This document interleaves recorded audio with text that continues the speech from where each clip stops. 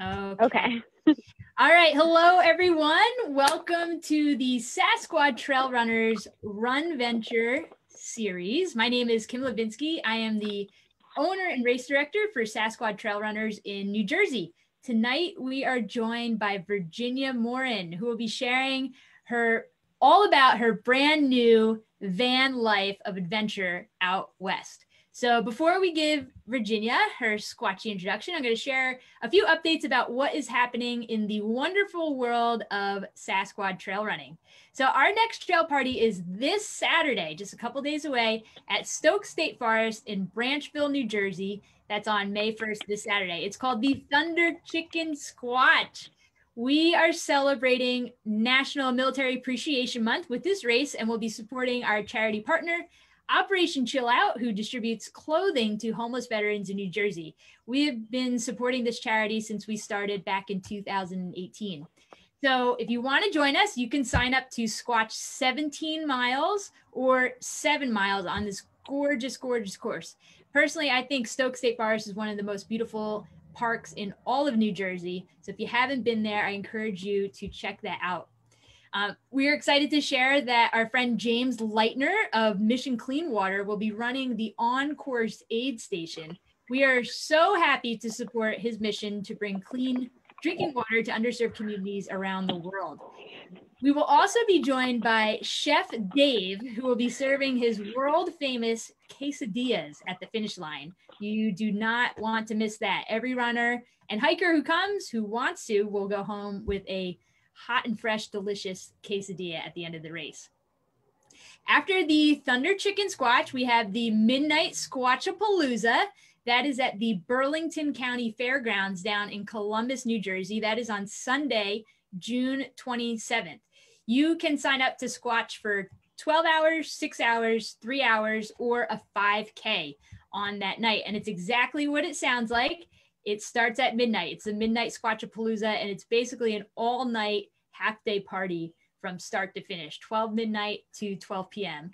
Um, and this is actually the race where I first met our guest, Virginia. And I will tell you about that story in a couple of minutes because it's one of my favorite stories from Sassquad.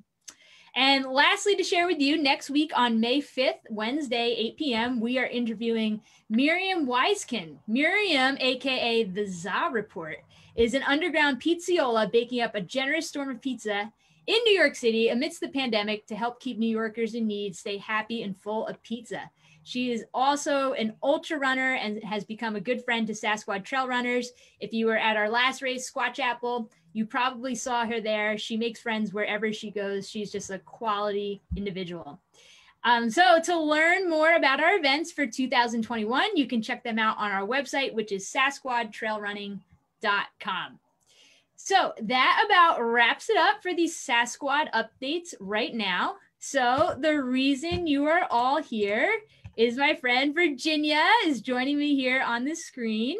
So like I mentioned before, I first met Virginia at the Midnight Squatchapalooza back in 2019, I think it was. She volunteered all night long to serve runners and hikers at the aid station, which was really more of a party station. That's what it turned into. It was an all night party. Um, the best thing about it was almost all of the volunteers showed up in onesies, wearing onesies, and I don't think they coordinated that. Um, Virginia had on a flying squirrel onesie and has gone down in Sassquad history with that flying squirrel onesie. And that was actually the moment that we, at some point during the night, the idea came up we came up with the idea to have the onesie fest 5k marathon. So that's the backstory on that race. Virginia was a part of it. She was at that race the midnight squatchapalooza. There was also a really awesome uh, another story from that night which i want to share because it gives you a little bit insight into who virginia is as a person. So again this is one of my favorite stories from sassquad she met jessica sameo at that race and jess is one of our runners they hadn't met before. They got to talking, and Jess shared that her pacer had just dropped for her upcoming 100 miler, and she was in need of a pacer. And Virginia offered without hesitation to pace Jess, someone she had just met at this all night race in the middle of nowhere in central New Jersey. And they went on to, uh, you know, Jess finished her event and Virginia paced her through the night. And that's one of my favorite, all time favorite Sassquad stories. And it really tells you who Virginia is as a person. So Virginia is an accomplished ultramarathoner herself. She's completed many, many races um, all around the country, which have included the Javelina 100K, multiple times at the Tammany 10. And of course, I have to say, um, selfishly, she came to our double squatch. And I love it. some of my favorite pictures from Sassquad are of Virginia. She is so happy. I posted a few of them today on social media. Um, so Virginia recently moved out to Colorado. She moved out west. She left the life in New Jersey, the left of the, the life of commuting into New York City. And she just begun her new life on the road in her brand new van. And she is joined by her boyfriend Alex and her dog Jupiter, which I am hearing there's a rumor we're going to meet both of them at some point tonight. So right now they are currently in Flagstaff, Arizona making their way around the country. So, Virginia, thank you so much for joining us. Thank you for having me. And I love Sassquad so much. hey, the love is mutual. It's it's right it's right back at you, Virginia. yeah. When you can combine like just the geekiness and the silliness of the people that run with like actual quality events, I'm so down. Awesome. I, I love that. That's a great uh, it's a great summary of who we are at Sassquad, I think. so Virginia, let's start. Um, let's just hear a little bit about who you are as a person. Tell us your your running story. If, if you had to give us kind of the Cliff Notes version, how did you get into running? How did you get into trail running? And uh, then we'll jump into some other fun.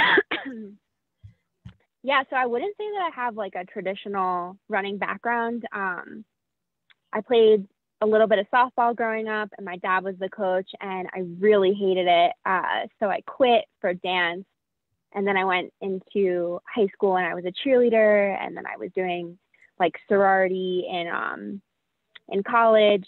Um, but we we did have Greek week, and I was rocking at dodgeball. So awesome! Um, watch out. Um, but but coming out of all of that, um, I would like hit the trails every so often with my friend Annie, who ran cross country for Allentown High School mm-hmm. in New Jersey. And she would bring me to this like awesome trail system um, right near a brewery near our house um, called Clayton Park. And I never thought of it as trail running. It was just like something that we did for fun. And we would go like maybe three or four miles and just like sweat and fall and then drink beer afterwards. Um, and sometimes I would go by myself and just like listen to music and run on the trails. And um, when I started my first job, um, I didn't have a lot of friends. They had all moved out of state. My friend Annie moved to California. My other friend was in Brooklyn.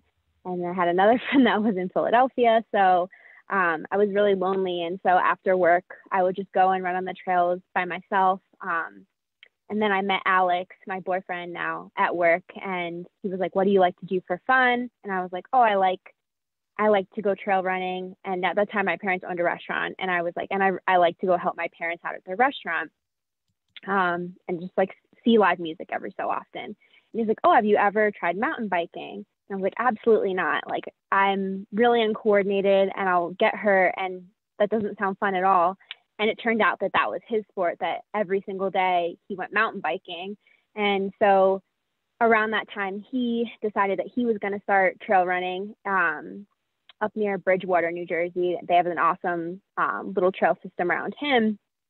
And he really liked it and he came back and was like hey i started trail running and my uncle butch is running um, this marathon out in pennsylvania like kind of where they hold um, the Little League World Series, like out in that area, like Lock Loch Raven or Lock something. Um, and the marathon was called the Mega Transect. And he was like, Would you want to run this marathon with me? And I've never even run a 5K. And I was like, Oh, absolutely. Yeah, I'll definitely run this marathon. So I went home and I came back into work the next day and I was like, Hey, I signed up for the marathon. And he was like, What? What do you mean you signed up? And I was like, Well, you asked me if I wanted to run it. So I figured that we were running it together. And so then that kind of pushed both of us to um, run the half marathon uh, for Bear Mountain that year. And it was awful. I had like such bad IT band syndrome, but oh, I went on and I did the marathon. Um, and my friend Annie joined us.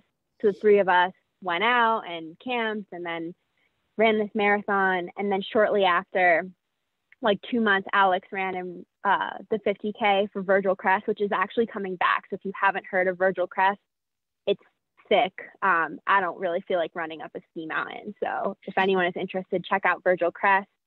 Um, I think he came in like fifth in the the 50k or something, and then immediately he was like, "Let's sign up for um, this 50 miler in Virginia." So it was like a part of the North Face series, but it was I think it was like called DC. Um, so we signed up for the DC 50 miler, and but he got injured, so he had like this really bad um, like hamstring injury. And for a while, he was like, "It's my knee, it's my knee," and I was like, "It's not your knee, it's your ass." Um, but that came way, way after when he finally realized I was correct. So I ran this um this 50 miler out in um in Virginia, like on zero training. Um, but I like crushed it because like two weeks before I was like, let's go run 30 miles. So we ran, I think like the Columbia Trail or something. Mm-hmm. Um, it's like a 30 mile out in like closer to Bridgewater area. And I like cried and it was really cold and he had to bring me tea, but I finished it and I was like, okay, if I can run 50k, then I can run this this 50 miler. Um, so I went out and my friend Annie like surprised me and showed up and paced me at the end, and I cried, but it was awesome and yeah, and that's how I got into trail running. That is amazing. amazing that you ran a 50k on the Columbia Trail. That's that's like pancake flat rail trail, right? Yeah, it was. I don't. I'll never do it again ever, unless someone was like, "Will you do it?" I have this thing where if you ask me to do something twice, I'll always say yes. Oh, is that it? Yeah. All right. Well, yeah. We'll, we'll start with one one question already in the chat from Ryan Thorpe says, "We miss you guys and get a tour of the sweet van." So Ryan, I think you have to ask one time, and we'll and we'll get a get a tour of the van. yeah. Uh, Ryan, I would love to give you a tour. It rained and snowed the last two days, so it's a little bit of like um the inside of a barn right now. Like if you've ever been in a, a horse barn in New Jersey, and Alex will kill me. Um, but I will at some point um, show you the outside of it because it looks really cool. We have a lift and like uh, tires, and it's it looks really good from the outside, but inside right now it's very very dirty because of the rainstorm and everything is in um like uh waterproof bags because we're still building out awesome all right ryan you got to ask maybe one more time in a few minutes and we'll get the uh the outside tour of the van awesome so it sounds like you really jumped in with two feet into the world of ultra running what was it that you most liked about ultra running that made you stick with it? Because now you've been doing it for several years.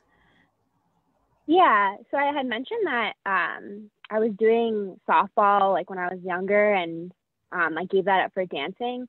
Well, all my friends um, went on to play softball in college and they're all like really athletic and like super powerful females. Um, just way cooler than I ever like thought I could be. Um, and then after you know running um, the the marathon out in Pennsylvania and you know signing up for another race and doing all the training I just was finally like realizing hey my body is like a lot stronger than I thought it was. And you know I don't just feel like I'm a girl um, that moves her body sometimes. Like I started feeling like an athlete.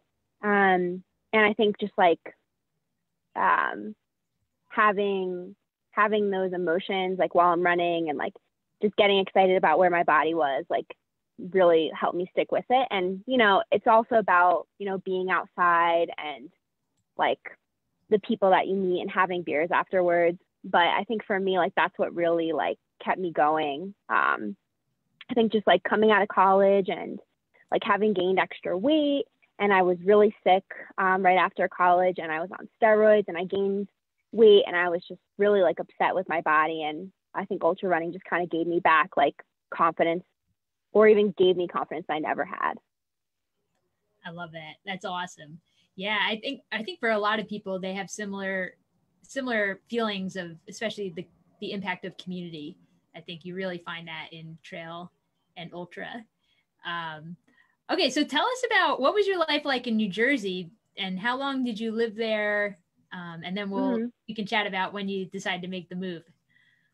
Yeah, so um, I was living in New Jersey all my life, and um, just recently, like after meeting my boyfriend, started getting into the outdoors. Like once I met him, I went on my first camp trip, and once I met him, like I went hiking for the first time. Um, so those were all things that were like super new to me, um, and really like him and like our our extended uh, friendship group um, with like Ryan and Devang and Annie and um, just like a few other people um, really started to shape what I wanted my experience to be like in New Jersey.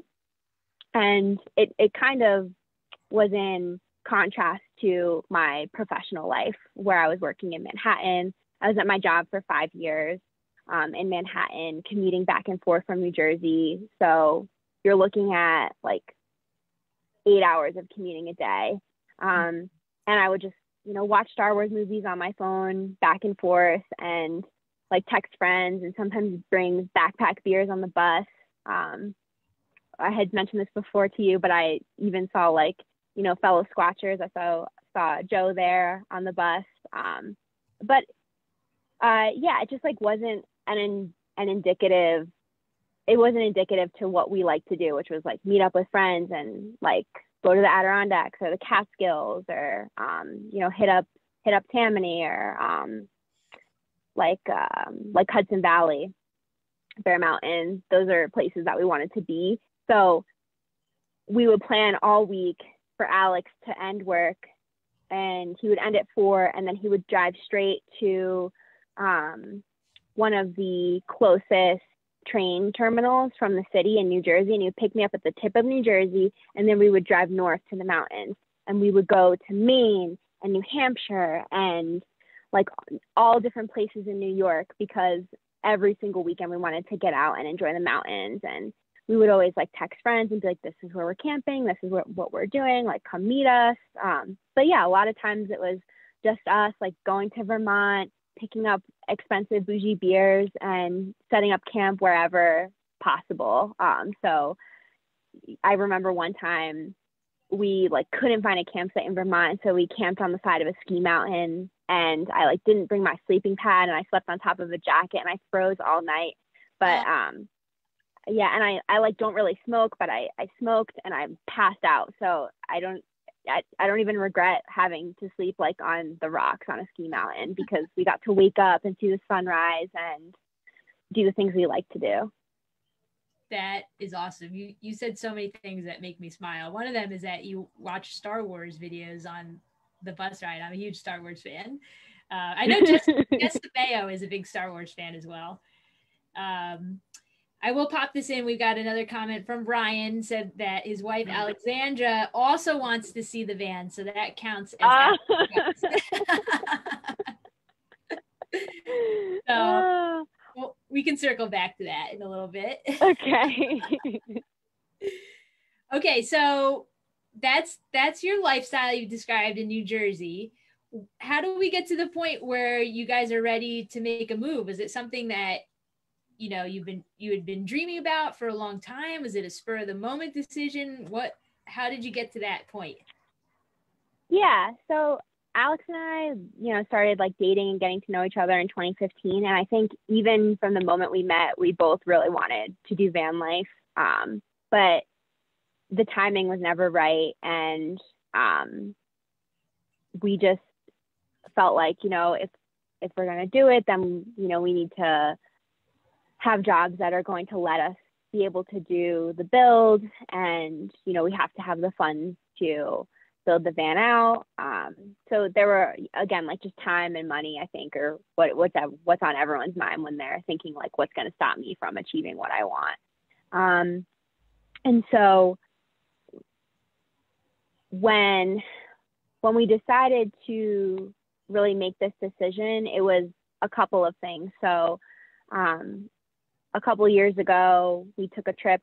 We were supposed to go to Hawaii, but we like didn't make it to Hawaii. Long story short, the buddy pass like puts us at the end of a line to hop on a plane to Hawaii, and we got stuck in Salt Lake.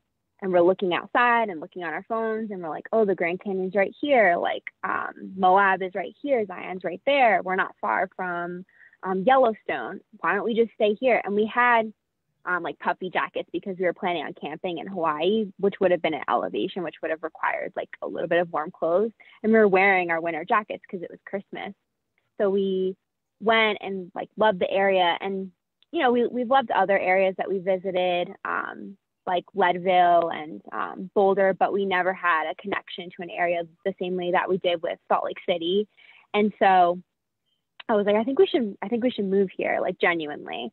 And then um, when Alex was getting moved into a new position at his job that he had been in since we met, um, I was like, why don't why don't you just quit your job and get a new job in Salt Lake City and I can ask my job if I can either be a contractor or be remote and if that doesn't work I'll get a new job too and we'll just move to Salt Lake City. Uh, it's the perfect opportunity to go out there. Um, and he ended up finding a job. I asked my job if I could go remote and they said yes um, that they trusted me to do that. And then we moved out there. Um, and then boom, COVID hit. So um, immediately everyone's remote. Now he's remote. Um, we have a dog and uh, we just started exploring like uh, with our remote time, spending a ton of time like in Flagstaff and Yellowstone and the Tetons and Moab and Zion and Bryce and like you name it. Um, we've kind of like been in this immediate area, uh, with the exception of the Pacific Northwest. haven't been there yet. Um, and we've just been really enjoying like that traveling and we were living out of our car for two weeks and Alex has a really like small Subaru. I sold my car before we left. Um, and we just we just made it work. Uh, we got like a hot spot and we're like, this is what we're gonna do. This is how we're gonna make it work. And we're both recruiters, so we have like a little bit of flexibility. Um, and then uh, he lost his job in June, and then he got a new job, which is like completely fully remote, like won't ever have to go back to the office. It's based in California. And then um, I was like, this is it. Like, this is when we should buy the van. And we talked about it for a couple months. And then we started like just passively looking at vans. And it, they were really, really hard to come by because with COVID, everyone was buying up the vans um, like you couldn't get a really cheap one. You either had to find a leftover van that was a 2020 or you had to order a 2021. And we're like, well, we really want a 2020 so we can like start building it.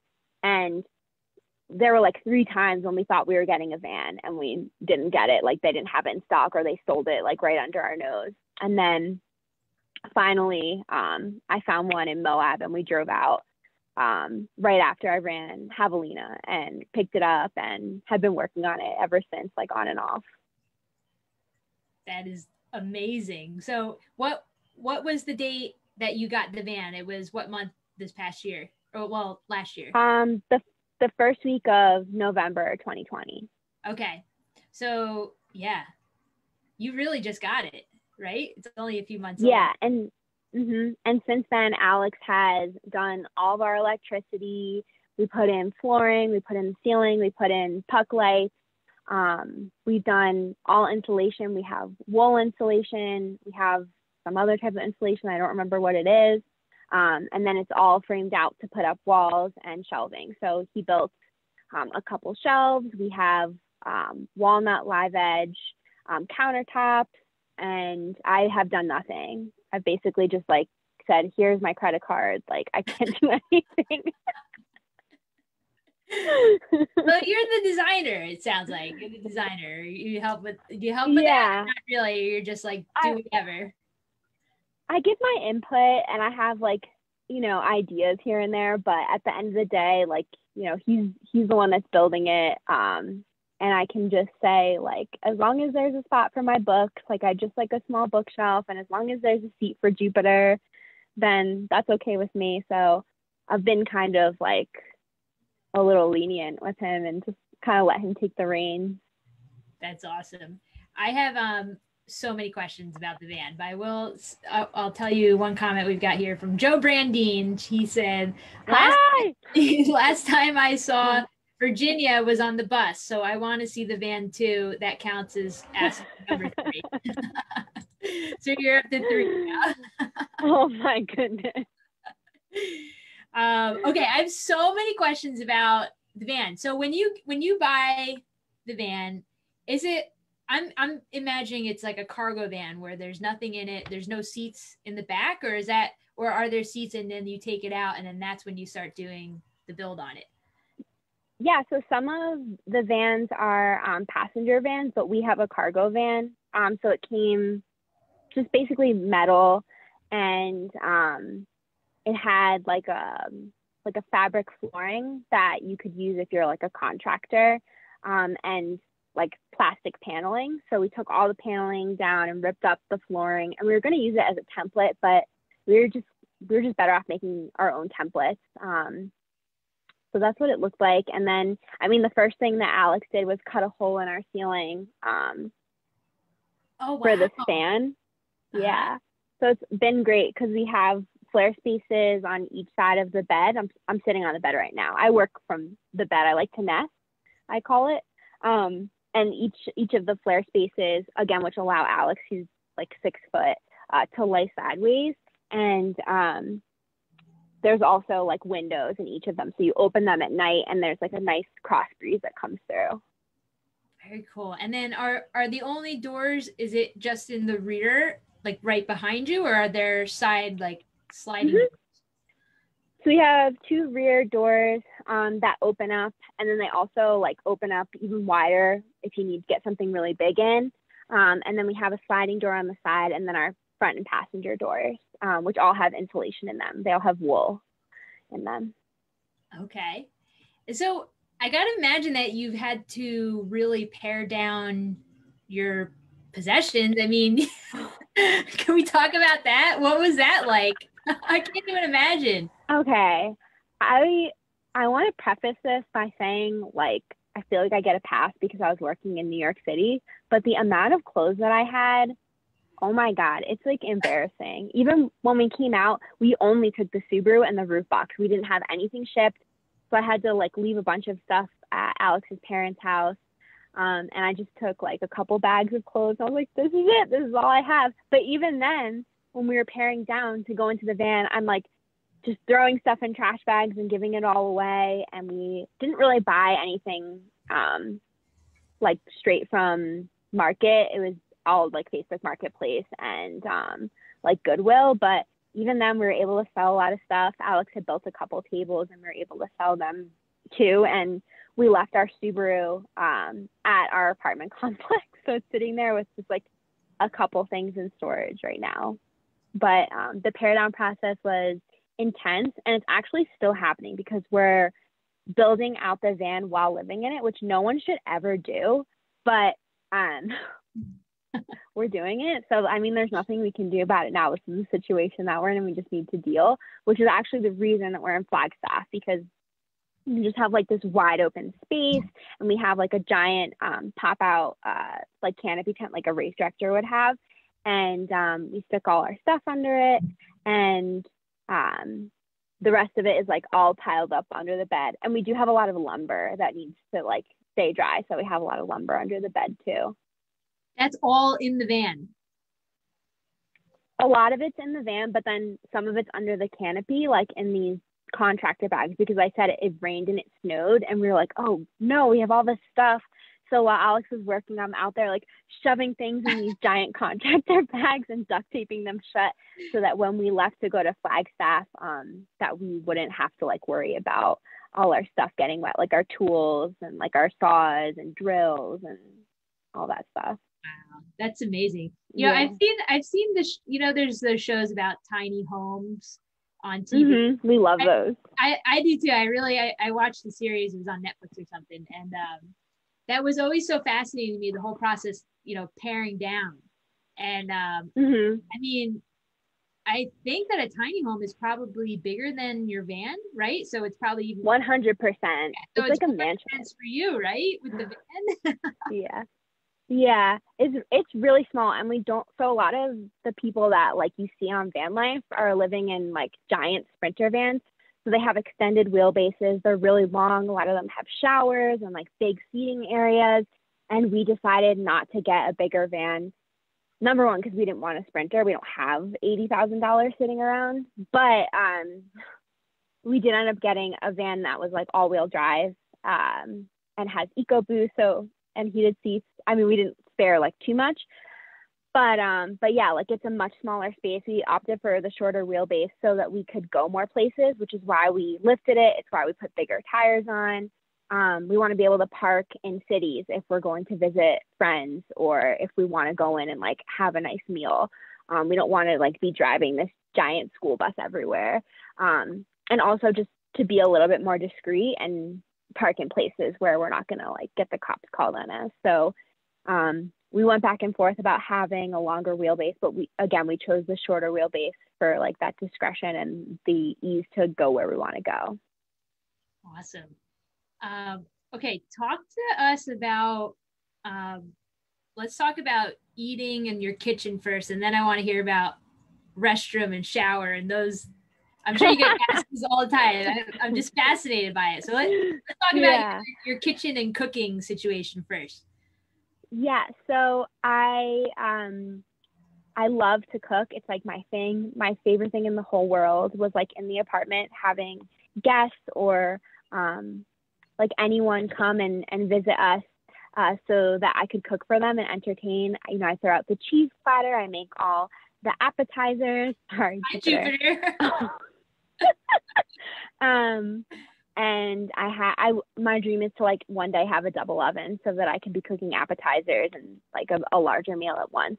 Um, but you know, we really wanted to do this, and so we opted for a much smaller kitchen. Um, a lot of vans that you see have um, their kitchen taking up like almost one side of the entire van. But because I wanted, or we wanted, um, like a seating option and a place to put our eventual toilet. It is not here yet. Um, we have uh, walnut countertops that we cut into almost like four by four pieces, and one of them the sink sits on top of, and the other one the refrigerator sits underneath. And we don't have one of those chest refrigerators. I was like, I don't want that. That's for like, I don't know who needs that. Um, I wanted the open regular face refrigerator. So it kind of looks like a dorm refrigerator, but it's for a truck so it's um, more efficient with energy. Um, and I can fit a surprising amount of things in there. Um, you know, obviously not as much as a standard refrigerator, but when we moved out of our Airbnb, which again we were in for 33 days, I was able to fit everything in, and I was like, "Did you see this? Did you see what the refrigerator can hold?" Um, and then uh, I just have um, a Coleman two burner stove, which I've had for a couple years um, now, and I cook on that. And we cook most of our meals.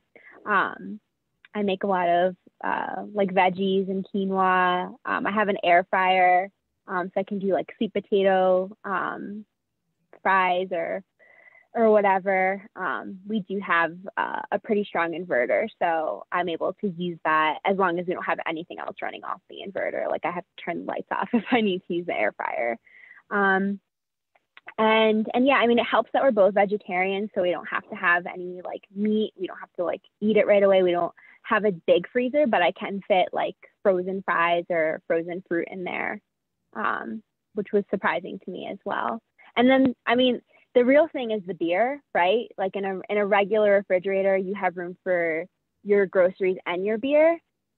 Um, i've been able to sacrifice some vegetables. And so my vegetable jar, if you pull it out, there's some vegetables, there's like some vegan cheese, and then there's a lot of beer.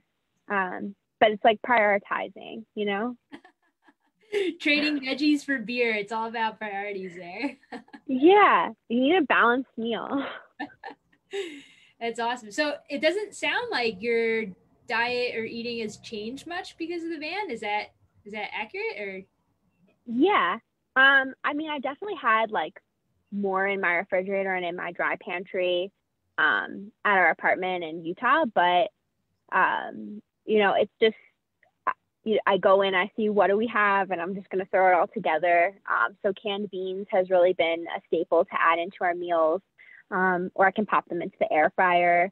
Um, we're probably eating a little bit less salad than we normally do, just because salad is um, not as dense of a vegetable as other things. It's a little bit more bulky, so you can't like hold a lot of it. Um, but I don't, I'm not missing it because it's a little bit colder here right now, so you want like a, a nice hearty stew or um, some nice like fried up veggies um, or roasted veggies. So it yeah, we haven't really been sacrificing and I'll either cook in the van, which I have the option to do. I can open the doors and I'll be like, oh, there's Sedona. Like no one else has this in their kitchen. Or um, if if Alex is on a call, um, which we're always on calls with recruiters and we're both really loud because we're from New Jersey um, then I'll take the uh, stove outside and I'll cook outside on like a folding table, which is just as nice. And Jupiter can run around and I can throw his toy while I'm cooking. That's that's awesome. Um, Ryan Thorpe is chiming in here again. He wants he says uh, hops are a vegetable. I think. What's in the beer drawer right now?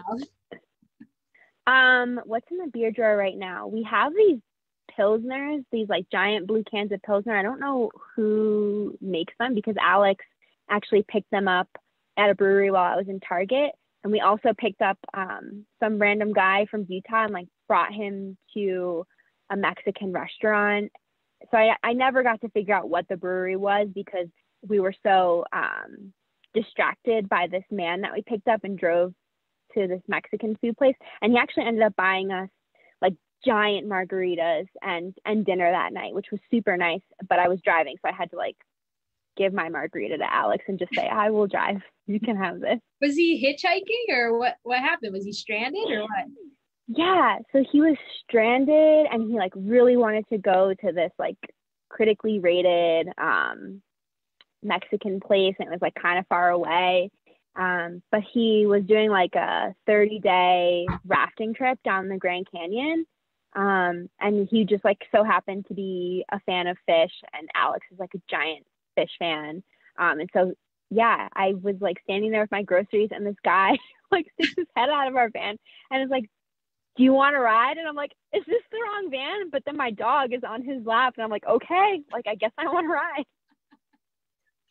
yeah. so yeah, big cans of pilsner. Got it. All right, there, there you go, Ryan. There's your answer. Um, okay, so we covered the kitchen. Now, what in the world for your bathroom. What are you doing? You just said you don't have a toilet.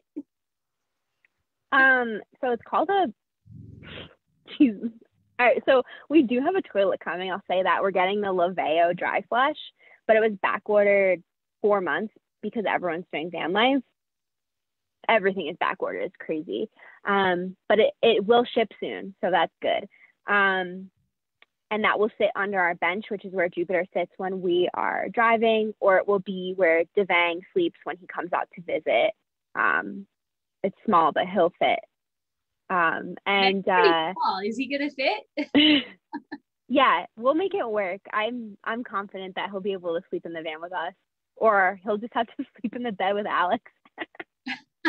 um, now, so we don't have the toilet right now, right? So we have this thing called a oh god, called a poop shovel. and so you just like go out and you like dig this hole for yourself. So you have to like really think in advance, like, do I have to go? Right? Because you don't want to be in a between a rock and a hard place and you don't have time to dig a hole. That's just you know, you're not burying a dead body. You want to get it in the hole. So um gotta dig the hole and then um aim into the hole and that's what you do. And then you um, pack in, pack out your uh, TP. You put it in a little bag. You put it in your garbage. You know, leave no trace.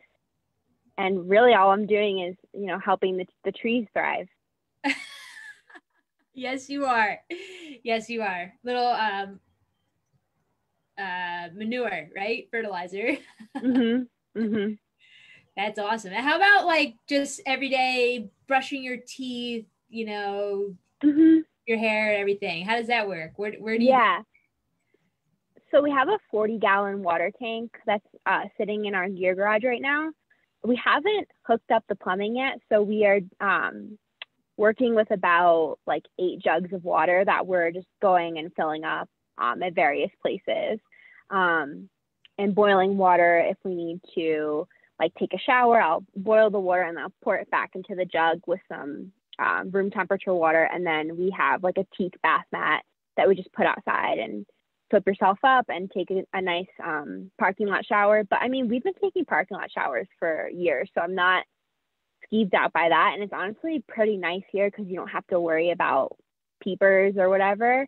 Mm-hmm. Um, and then, yeah, in terms of uh, like other shower opportunities, like we have Planet Fitness membership and if we're in town, we'll just go in and take a nice hot shower and hit hit the stepper for for a while because every mountain runner needs to hit the stepper. yeah. That's smart. Did you um were you always a, a member of Planet Fitness or was that kind of a strategic thing where you were looking, you know, where mm-hmm. the Yeah. It was definitely strategic, although I wish I did it sooner because I didn't know how nice they were until we got our memberships. And Alex was like, They have massage chairs. Do we have time for me to sit in it for 20 minutes? I was like, Knock yourself out. I don't care. Um, so, yeah, we really like Planet Fitness, but I had um, a Pilates membership in Utah, and back in New Jersey, we had uh, Law Fitness or LA Fitness. Okay, I got you. Um, mm-hmm. Okay, so with with your van life, what do you what do you guys envision? Like, are you going to be traveling all over constantly, or are you wanting to like move to one place, live there for a certain amount, and then move on? What's what's what's the uh, the vision for you guys? Mm-hmm. So I think if if uh, if COVID wasn't like a factor, we would have different plans because we would have been able to see all of our friends out west um, with with there not being any COVID, right? But we've been kind of cooped up and like stuck in Utah for a while. Um, but now we're vaccinated, so now we don't have an excuse to not see friends and family that are living out here. Um, so a little bit of our travel is dictated by seeing friends and family, like in Colorado, um, and in California, uh, and various friends like all over the place that have been asking to see us. And now that we're vaccinated again, we don't have an excuse to not see them. So a little bit of the travel is dictated by like just meeting up with friends and family, and the rest is um, like a rough plan. Um, a little bit to do with running. Um, so if Hardrock happens, which I'm pretty sure it will, then we're going to go do soft rock. So um, they mark the course a week before Hardrock happens, and then the tradition is, or I don't know, maybe it's not a tradition, maybe people just call it this. You go out and you run the course, um, and it's soft rock. So um, I would not run it in one go, but I'd like to run either portions of it or all of it within several days. Um, and we love, love, love Silverton. So anything to get us out there into that area, like, or if you if anyone listening like hasn't been to Silverton, I know Ryan's been there. Obviously, he ran um what was it, the Ouray 100 out there because he's crazy.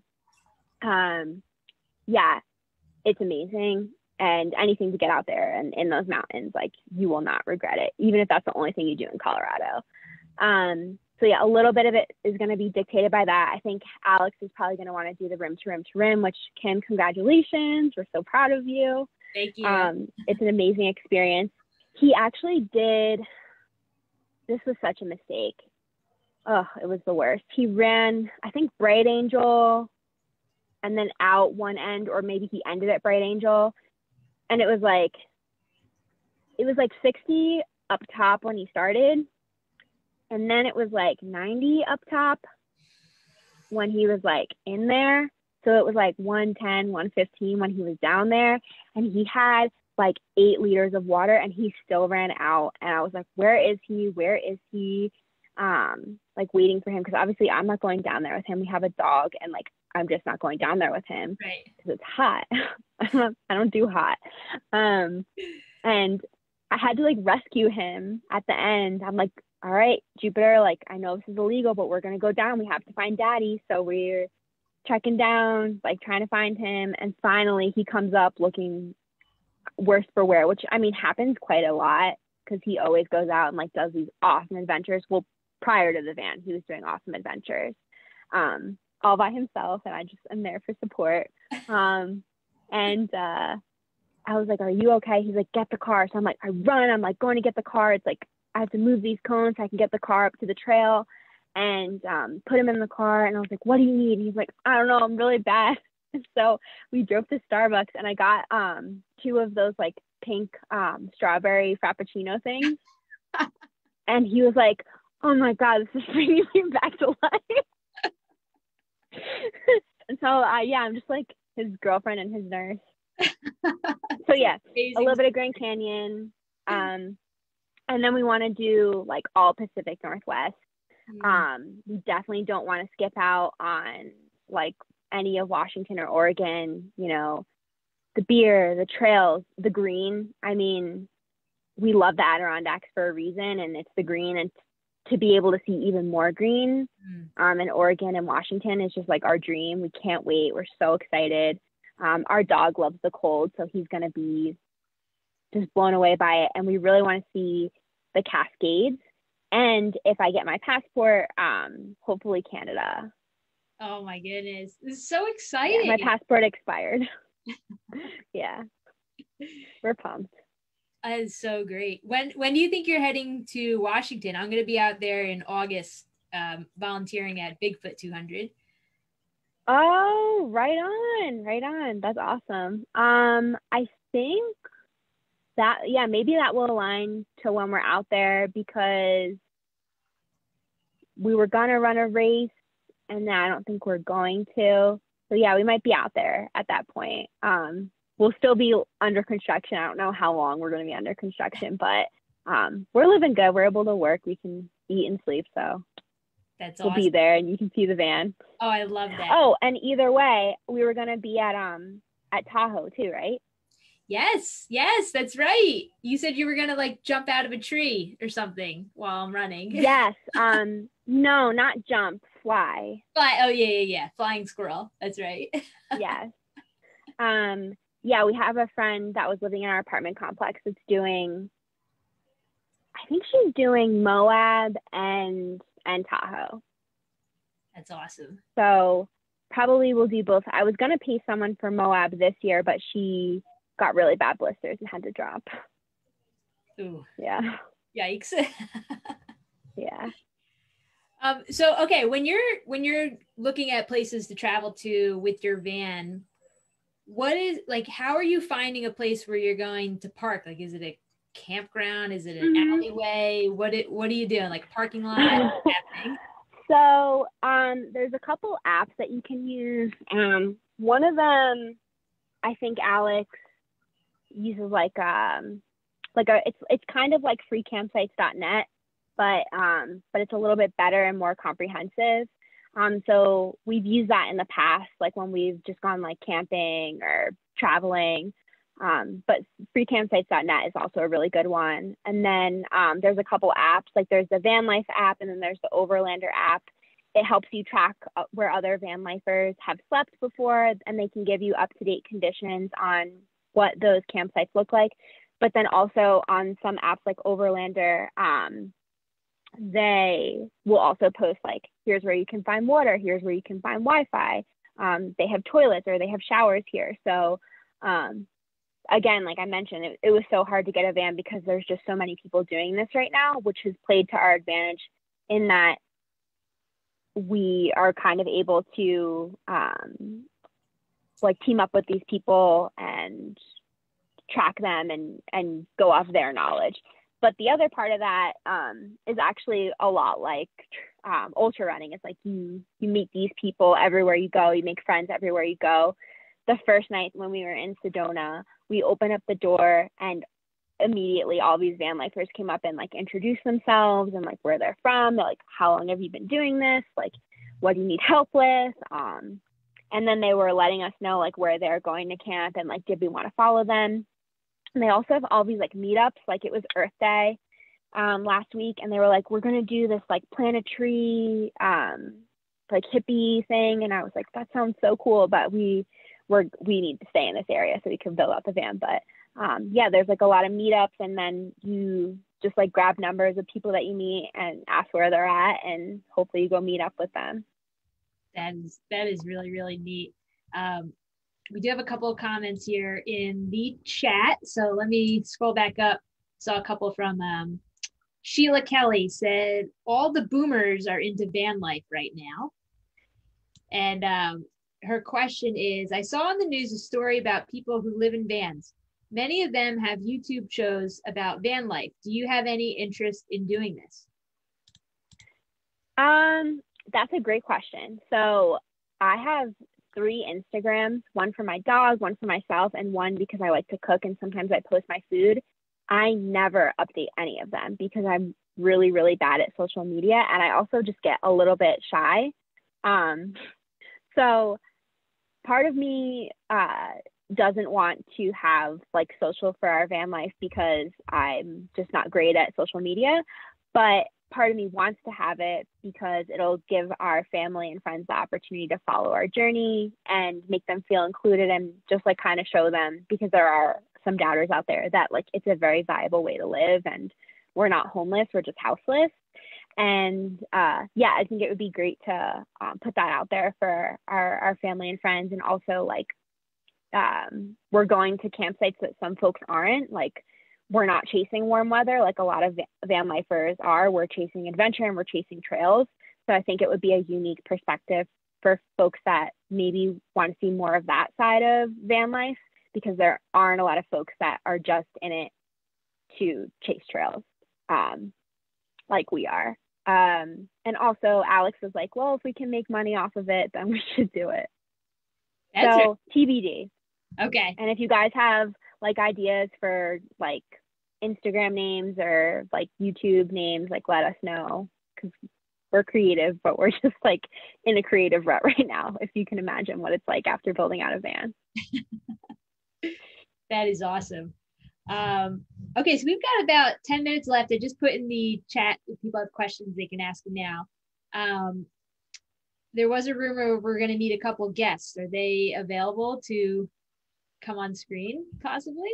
I think so. I think Alex might have hopped out for a quick trail run. He might be back within the next five minutes. But Jupiter, Jupiter, come on, come here, come here, come here, get up. Is he? Oh, oh he's very tired. Hold on. there he is. Hi, buddy. Yeah, we got him in Utah.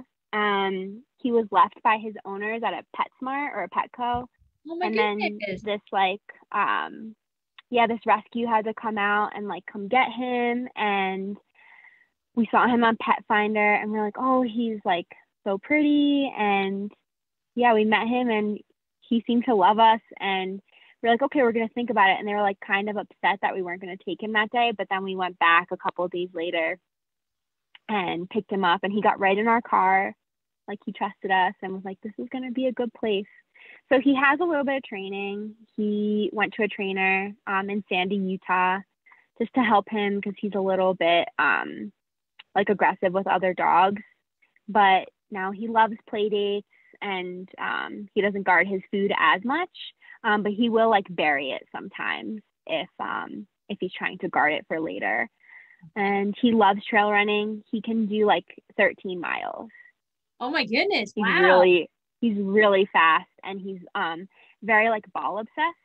So if if he has a ball, then um he will just like sit there and stare at it until you throw it. And he also really really loves guests, but he gets super depressed when they leave. So for like a week or two, he gets really really sad when they leave. So um like Devang and Sally came to visit us and when they left, he was like distraught. He was so sad they didn't have guests anymore. He seems pretty calm. Uh, does he have a lot of energy? He's just calm now, or is he generally pretty calm? Um, if I'm relaxing, then he normally will relax. Oh, so cute. um, yeah, if I'm relaxing, then he normally relaxes with me. I think he like recognizes that I'm like the female and he has to like take care of me. Um, but if the door to the van was open and we were like making a fire or cooking, he would just be bringing us sticks and toys and all types of stuff. He's he's rowdy. That's awesome. Yeah. Uh, and it's been yeah i mean it's been hard like i mentioned like we both lost our jobs this year um, you know it's been hard with like covid and not seeing family and just seeing a lot of each other so having the dog just makes everything happier and better of course of course jupiter he looks like a good good little buddy. Yeah it's funny my cat just made her way. She was been she's been sleeping for like 18 hours and she just woke up. I don't know if she heard us talking about he likes cats. Uh, we got another question from Ryan. Ryan wants to know what are you guys racing this year?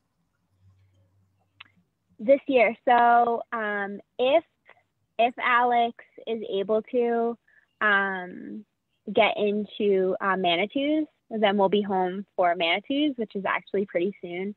So um, I had mentioned this to you, Kim, before, but he did really well two years ago, um, was in the top 10 along with Ryan and Devang.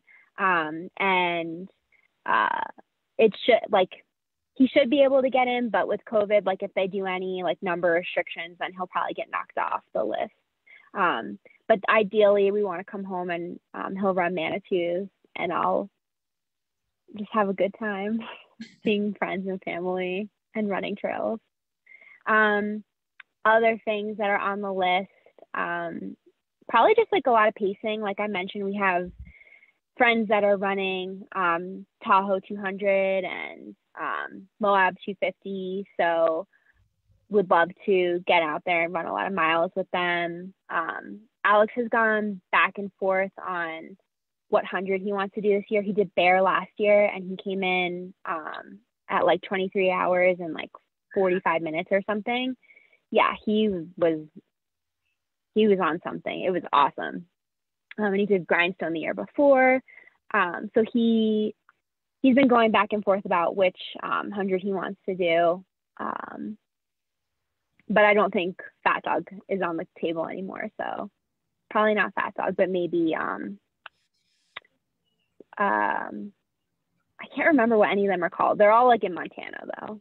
Okay. And then for me, um, I don't have anything planned right now, but I might might fly home and run Oil Creek uh, because I love that race. I didn't tell my parents, but I got um, an Oil Creek tattoo.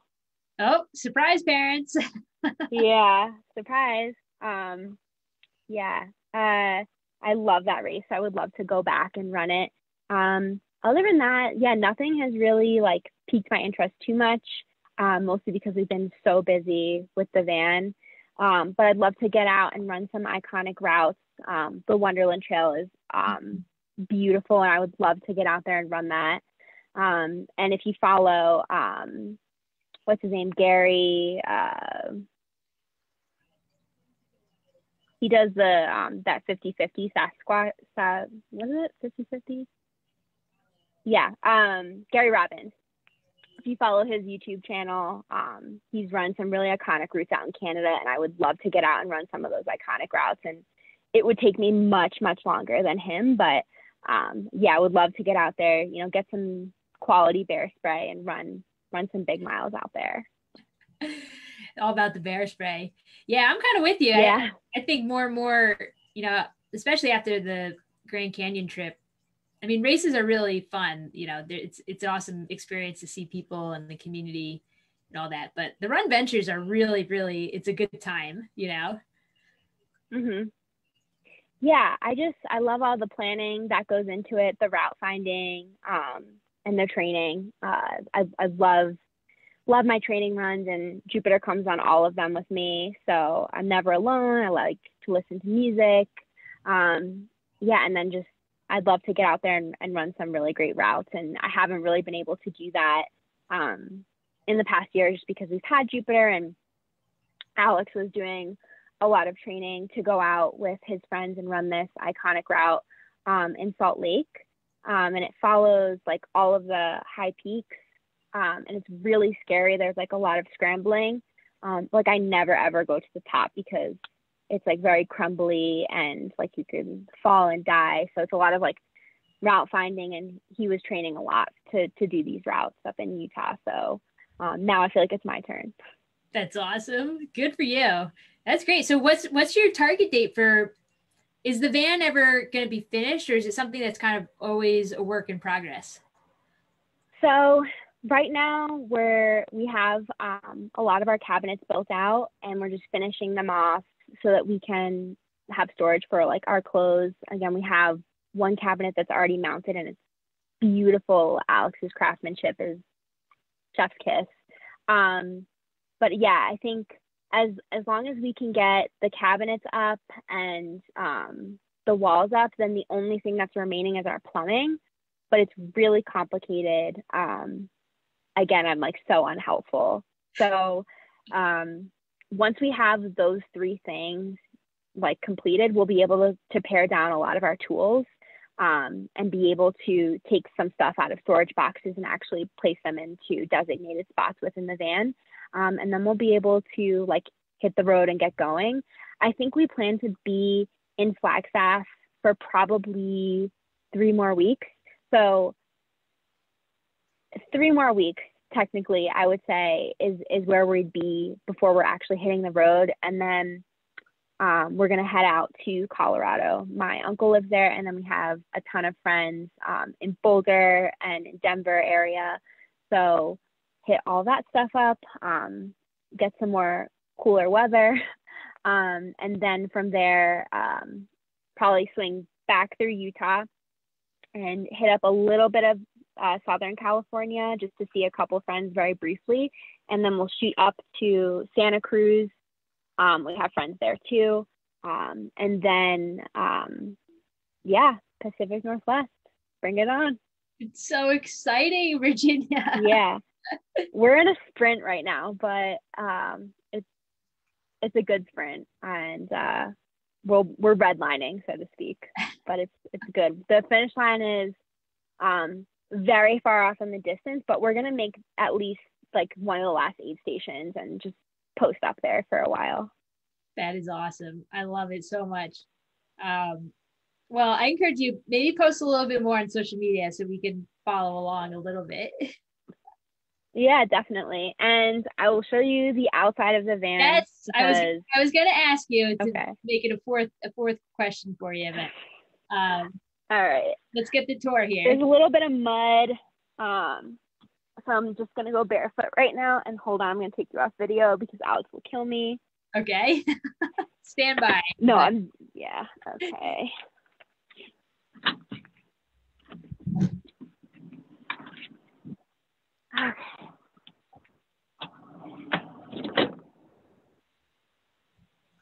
Okay.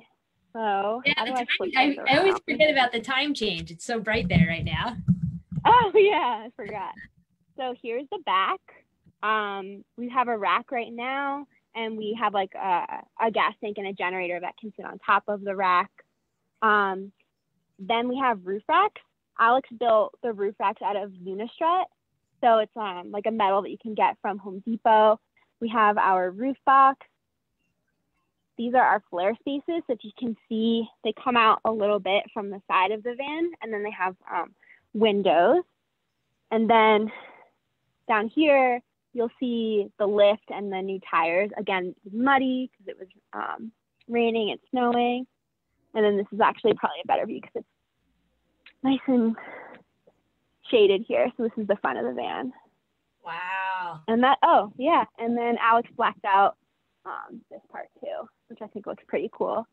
So he doesn't like the white. I like the white. I think it's super discreet. And here's a little bit of where we are. So got Jupiter, little fire pit set up. And this is like right outside of Flagstaff. And is it, a, is it a campground area that you're at or Oh, I didn't even mention. So most of the camping that you do in van life is on um, BLM land. So what that means is it's short for um, Bureau of Land Management, and it's basically just like free land where anyone can go and post up. Typically, there's like a 14 day limit on how long you can stay. I think we could probably be here for forever because no one ever comes out and patrols this particular area. I know they do um, patrol the BLM land a little bit heavier, like in places like Colorado, like Silverton. Um, and the BLM area is everywhere. It's in New Mexico, Arizona, Colorado, like everywhere in the West. Um, so if you like Google it, you'll see on the map it just lights up with all BLM land, and there's none on the East Coast, which is really really sad. Um, so I don't know that we'll ever have to stay at a campground because there's so much of this. Um, the only thing we'll ever do that's like outside of BLM land is maybe grab an Airbnb every so often um, or a hotel room if we need to like get out of the van. Like it is, it does get really dirty, especially like having a dog. You know, it's there's mud here, so he'll jump in the bed. And we had a white comforter, and now it's like rust colored. it's okay. yeah, and my nails are like disgusting. So that's awesome. Virginia, this has been so much fun. Thank you so much for for joining us tonight. Yeah, and when we get cleaned up, um, if anyone wants to check back, I will post some pictures of the inside of our van. Um, again, for reasons that you know are very obvious, I can't do it right now. Um, so yeah, as soon as you guys want to check back, um, I will post some inside pictures just to show you some of the progress we've made. It's really like it's really crafty and cool. So I'm excited to share. That's awesome. Alex sounds like um, a really talented craftsman. He is. He's. I'll keep him. He's a good one. I. He's definitely trail running right now because I don't see him anywhere. That's awesome. Well, you'll have to tell him that we missed him on the, on the show. We'll have to get you guys back another time, and he can he can join us. Okay, sounds good. I'll let you say bye to Jupiter too. Uh, Jupiter, say bye. Jupiter. He's ready to run. All right. Thanks right? again, Kim.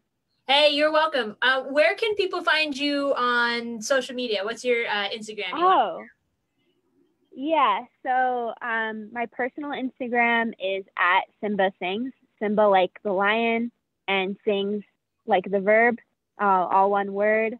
Um, you can also find me on Facebook or if you want to follow um, Jupiter, his handle is at uh, J O O P Jupe um, do D U uh, J O U R. So it's Jupe du jour, um, like soup but Jupe. Awesome. And he has, uh, yeah, he probably has more updates than I do. well, Sally just put in the chat that she said, I'll come back to visit Jupe. So he would love that. He loves Sally. That's awesome. oh, there he is. yeah, he's a good boy. I love it. Well, thank you again, my friend. I hope to see you either at uh, Bigfoot in Washington or for sure flying through the trees at Tahoe. Hope you know. Hopefully, yeah. Or um, or if Alex gets into Manitou's, I will let you know because then we will be in Phoenicia. Fantastic. Yeah. That would be great. That would be awesome. All right. We miss everybody. All right. Thank you so much, Virginia. Thank you guys for tuning in. We had a lot of people uh, watching tonight, which was great. If you missed this video, you can watch it again on our Facebook page or we will post it on our podcast in the next week or so. You can find that anywhere podcasts are streaming um, Apple, Google Play, Spotify. It is called Sassquad Trail Runners. And to learn more about us, you can visit us on social media Facebook, Instagram, or our website, sassquadtrailrunning.com. So until we see you again, everybody, keep it squatchy.